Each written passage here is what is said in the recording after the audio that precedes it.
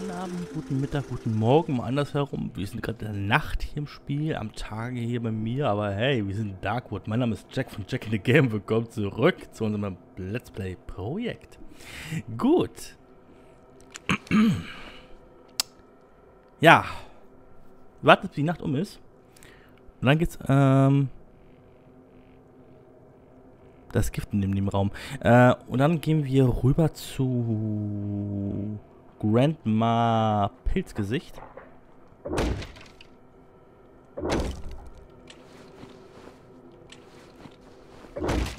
Harry, ich warne dich. Ich habe ein Gewehr.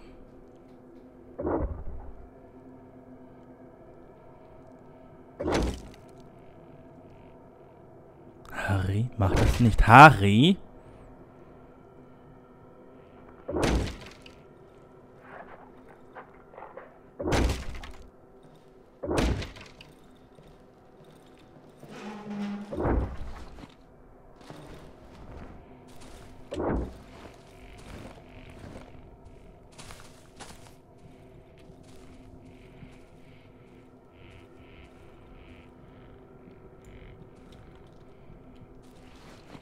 Komme ich raus, ne?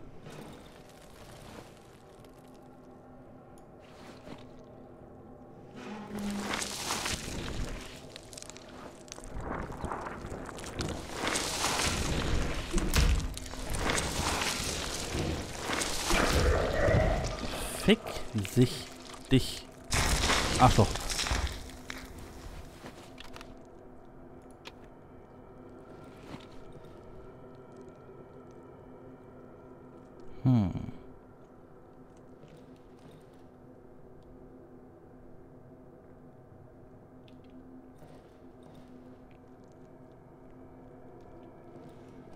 Ruhig gerade.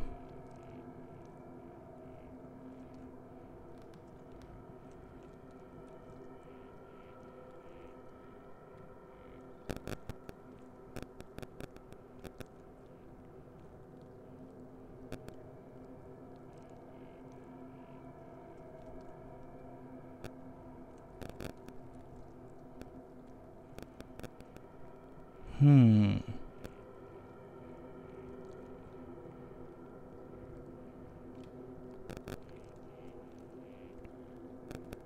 Hm. Hasse Ruhe. Ist so lästig.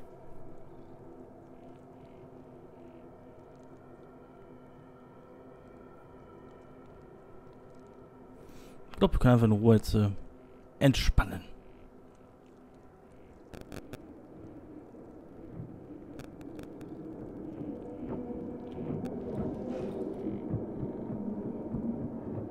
Irgendwas ist hier.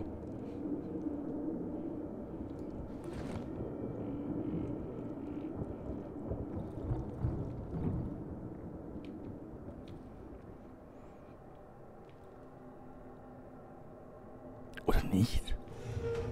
Ach, ey. Oh.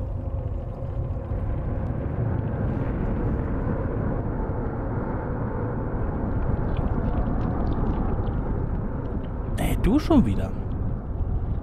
Verzieh dich. Lass mich in Ruhe. Ich will dich nicht. Nein, Mann.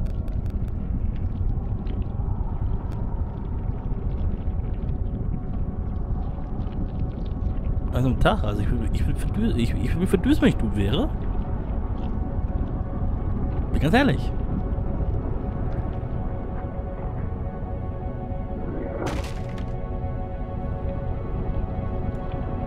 Lass meine Hütte in Ruhe. Lass meine Hütte in Ruhe.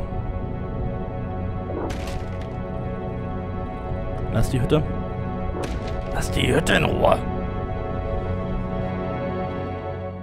Geht doch. Problem gelöst.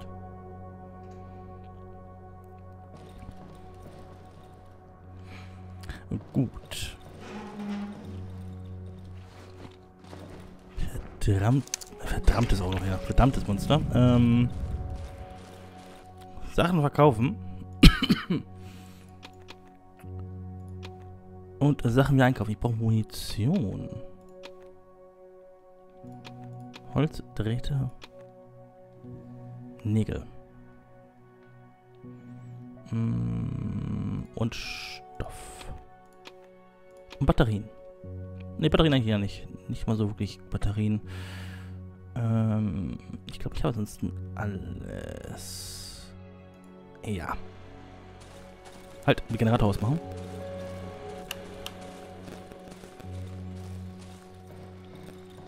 Und gucken, wir brauchen... Kann man die Rüstung nochmal reparieren? Können wir nicht. Verbessern können wir sie auch nicht. Ich lese auf jeden Fall mal her. Halt extra, ne? ein bisschen zur Seite. ähm. Ansonsten habe ich halt auch nicht so irgendwie was hier, was ich noch gebrauchen kann. Dietrich kann noch herstellen, ist immer schön. Vielleicht noch ein Dingens halt, ne? Ein Verband, aber ansonsten ist da eigentlich gar nicht wirklich was da, was ich jetzt brauchen kann. Dann das mal raus, kommen wir alles hier rein. Ich das erstmal in Ruhe bei der Dings rein, nämlich ähm, bei der AOK. Nee, Quatsch. Kommt alles hier rein. Äh, reparieren wir nochmal die Dingsaxt. Super.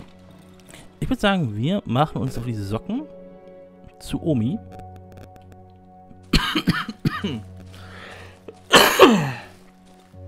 Und schauen, um was wir da finden. Oh, das hat ein bisschen in den im Hals gekillert. Gut, ich bin wieder da. Alles gut. Ich lebe. Werde leben. Das ist so der Pilzmann.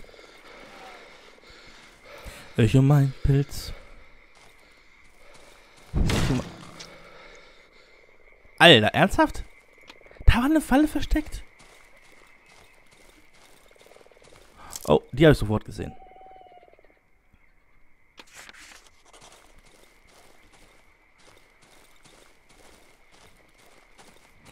So. So, doi.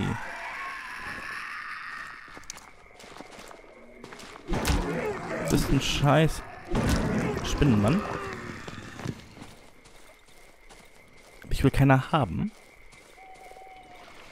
So, da ist Holz und dann da runter. So, Gutski, Umski. Ähm, ja, Gutski, Umski. Wenn Omi mir jetzt nicht den Massilek gibt, ja, dann werde ich die aggressiv, du. Dann werde ich auf jeden Fall, weißt du, dann werde ich richtig so. Dann esse ich die Frau. Ja. Ja, ein schlechter, äh, schlechter Titel für eine bestimmte Seite. Aber jo. Äh, ich habe keinen Sprit und auch kein Streichholz, leider.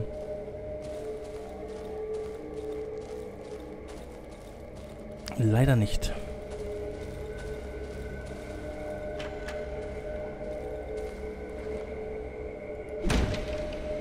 Okay.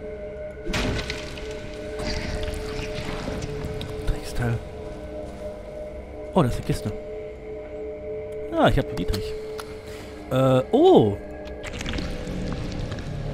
Sogar passend. Habe ich irgendwie noch ein Molly? Kann ich ein Molly bauen? Nein.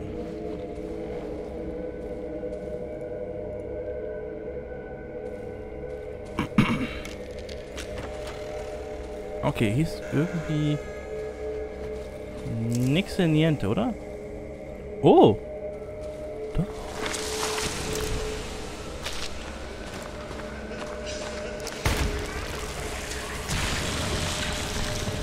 Alles klar, amigo.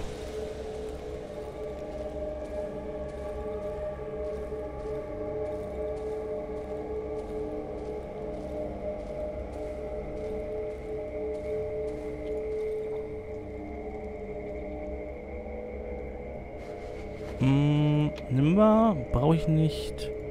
Nehme ich, nehme ich.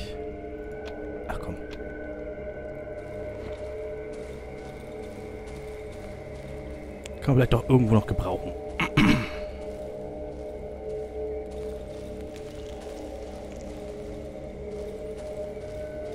So. Mal die Tür auf hier. Och, ey, leckst mal doch am Zipfel, du.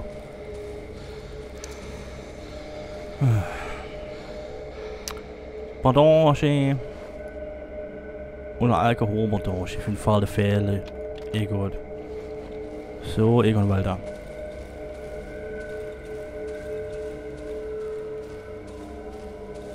So, Fußspuren.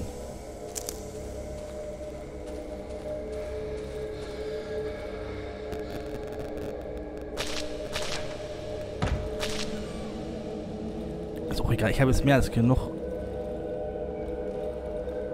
Heal-Items, um da durchzukommen. Ähm, so, Oma.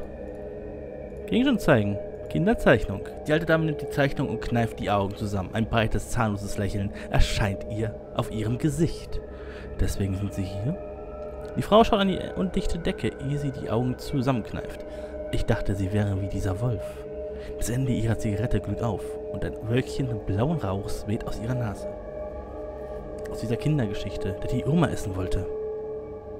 Sie öffnet ihre Augen und schaut zur verschlossenen Tür. Vor ein paar Tagen ist ein Kind hier aufgetaucht, ein Junge. Er glaubt, ich wäre seine Omi. Die, die alte Dame hält für einen Augenblick inne, versucht sich etwas in Erinnerung zu rufen. Oma? Er war sehr nervös. Er hat immer wieder einen Reim wiederholt. Immer und immer wieder. Er hat sich in, die, die, in der Ecke versteckt und ist da lange sitzen geblieben. Sicher den ganzen Tag lang. Ich glaube, er hat sich am Ende etwas, ein, äh, etwas entspannt. Es scheint ihm hier gefallen zu haben. Er zeichnet. Er zeichnet. Ich denke, er zeichnet gerne, aber seine Zeichnungen sind sehr kind, äh, sehr kind, sind, ach. Aber seine Zeichnungen sind nicht sehr kindlich. Gott, ey, ich hab's aber heute, du. Die alte Dame lächelt erneut. Ich habe ihn wirklich gern um mich. Seine Eltern leben noch, richtig? Sind Sie sein Vater? Bruder? Hm. Er ist im anderen Zimmer. Hier ist der Schlüssel. Lass ihn gehen, wenn er mit Ihnen kommen möchte.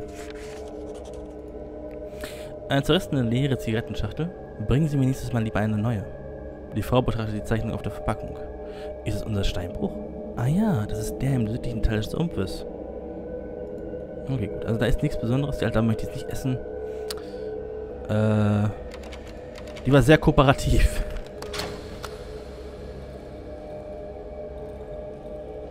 Ist hier noch irgendwas? Hier Giftpilze? Notizen.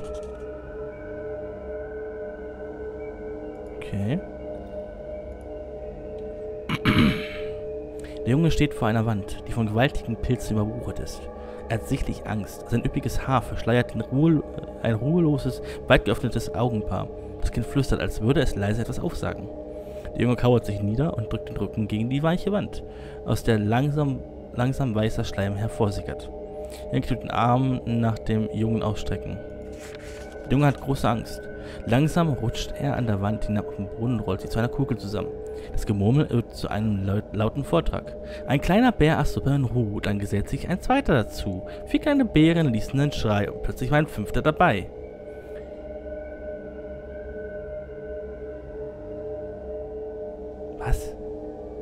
Ein kleiner Bär aß Suppe. Ist es... Okay.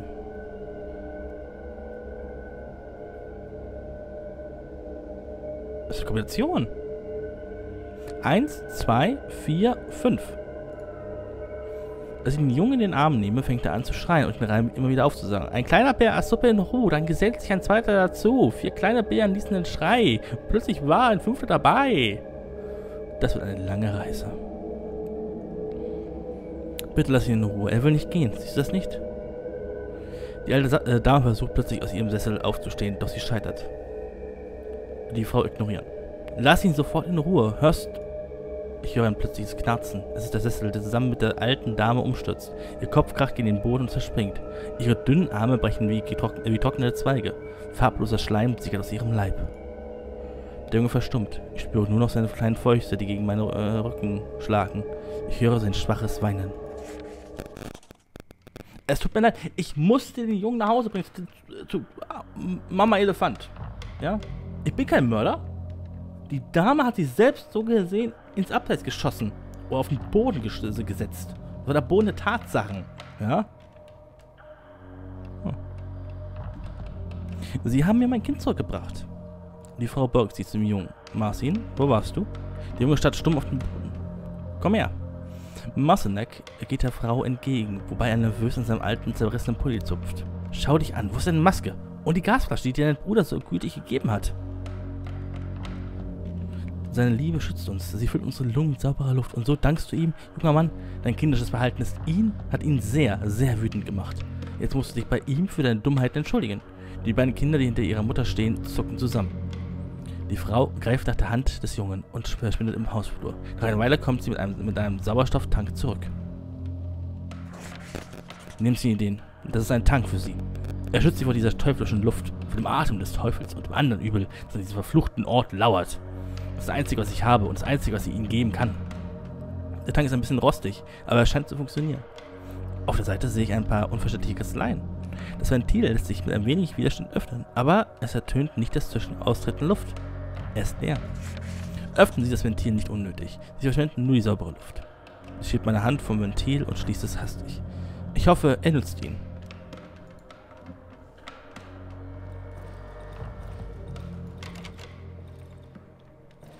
Ein kleiner Bär, Achso, Ruhe. Oh, warte mal. Hm, lass mich überlegen. Wo könnte man die Konvention eintippen? Mir fällt gerade nicht viel ein. Mm, mm, mm. Ja, ja, ich weiß wo. Ich glaube, ich weiß wo. Aber es könnte auch sein, dass ich mich da jetzt irre.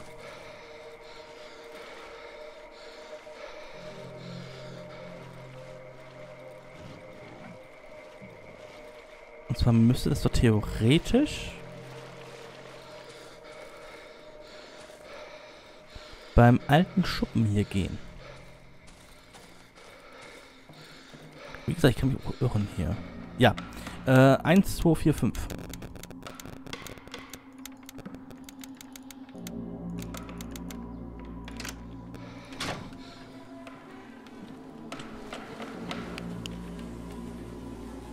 Luft ist schrecklich ranzig und steckig. Der schwere, süßliche Geruch der Blumen vermischt sich mit dem Gestank von Verwesung. Eine verwesene Leiche, vermutlich die einem kleinen Jungen.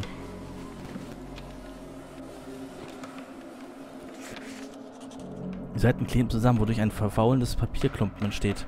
Ganz unten steht eine Notiz. Funkturm, Tür 21, 12 Uhr mittags. Kowalz, Kowalczyk, Trzynczonski. Oh oben kann ich nur lesen. Teufelshörner. Orga. Der Rest ist unleserlich. Aha. Interessant. Ey. Ich war total verrückt. Die gute Elefantenmama ist eine teuflische Elefantenmama.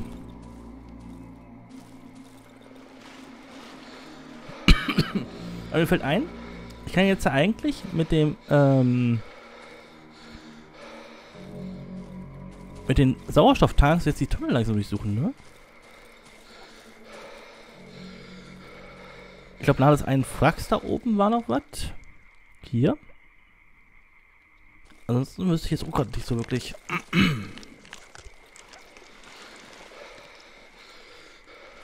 Warte mal ganz kurz, war ich irgendwie noch was hier? Nee. Ich weiß auf jeden Fall, hier war irgendwie, hier oben war irgendwie was. Da war ein Hund. Glaube ich zumindest. Und ein Kriecher.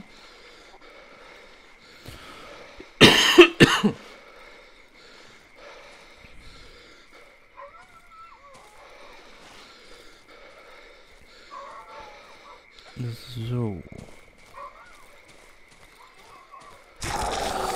Ich darf nicht drüber rennen.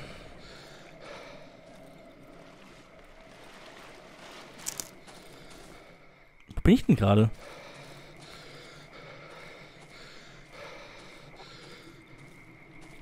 Das ist die Straße. Ah, gut, okay. Ja, gut, das weiß ich, wo ich bin.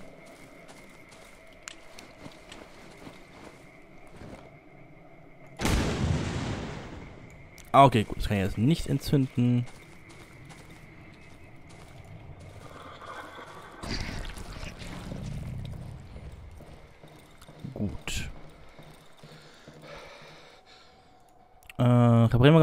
Axt. Und überlegen uns ganz kurz mal, was wir machen, weil jetzt ist langsam ein bisschen knapp hier mit ganzen Ressourcen, sehe ich. Hm. Gut, ich kann auch eigentlich alles da unten reinlagern, auch nebenbei.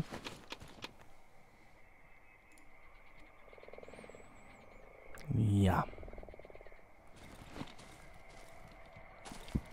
Das war schon mit alles. Ich kann auch die kleine Falle hinstellen. Ich tausche die Batterie noch aus.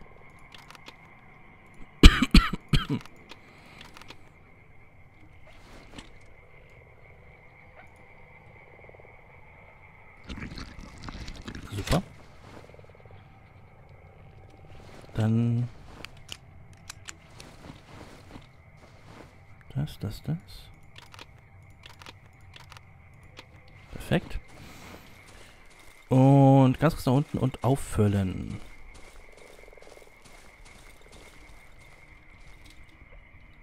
Gleich da runter, ne?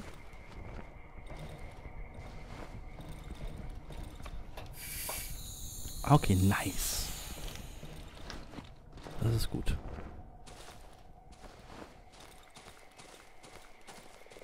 Auf zum Wrack.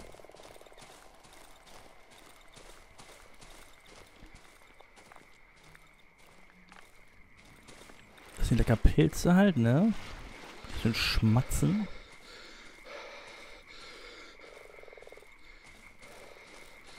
In-game habe ich noch vier Stunden. Sagen wir viereinhalb.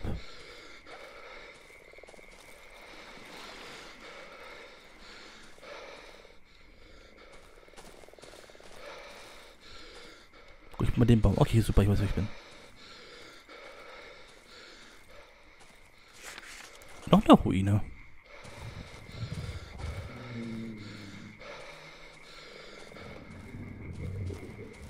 Ich glaube, ich, ich habe keinen Platz halt für kleine Sachen dort, ne? Ich zieh mal weiter.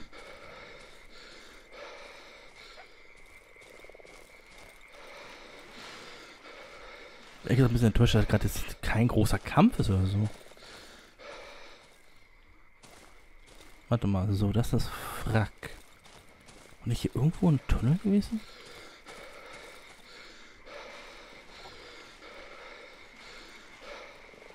Also ich kann mich auch total irren. Ich bin tot sicher, dass hier irgendwo ein Tunnel war. Was ist das hier?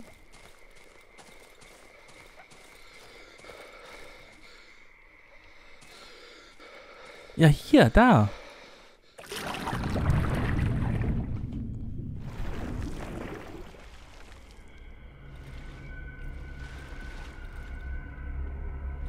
Ich?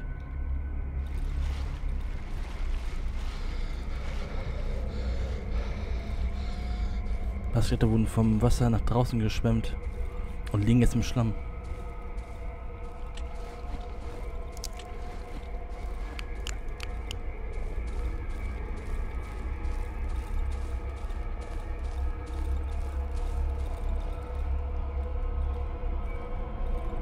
Das ist niedergebrannt. Brauche einen Schlüssel. Warte halt, habe ich einen Schlüssel? Ich habe keiner meiner Schlüssel passt.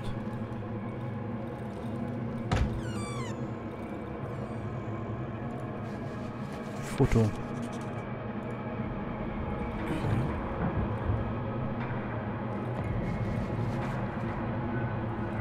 Warte mal ganz kurz. Warum ist da jetzt ein bisschen ein Schrank davor?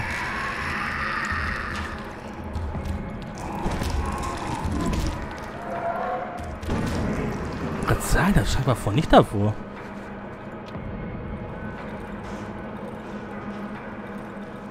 Also Kollege Schnur. Oh, nice. Danke. Oh.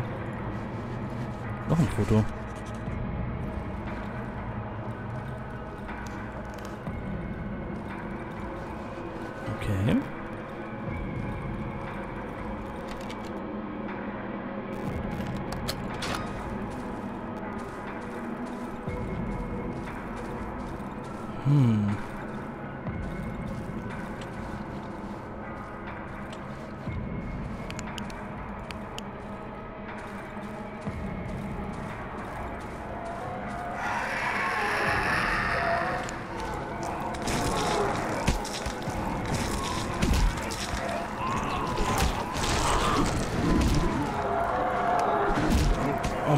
mal ganz kurz.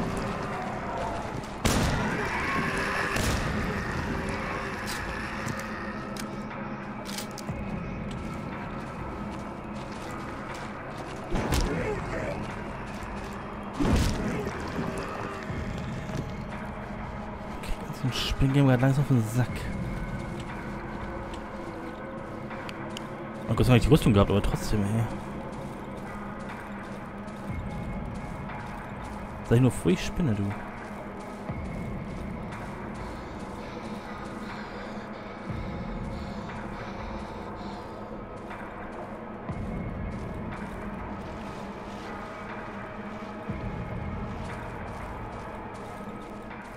Hm.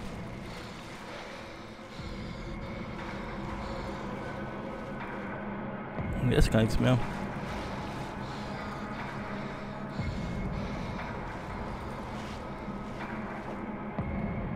Na gut, müssen wir zurück. Brauche einen Sauerstofftank, um äh, auf die andere zu kommen. Ah, ich brauch's. Oh, ich brauch sowohl als auch. Ach du Scheiße.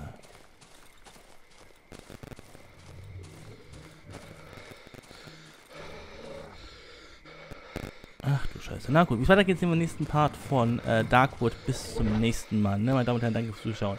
Tschüss mit Öle. Böhle. Bye bye.